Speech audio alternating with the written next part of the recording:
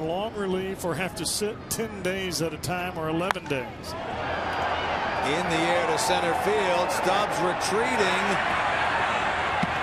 Up against the wall, and he caught the ball. It looked like a little snow, uh, snow cone job out there in center field.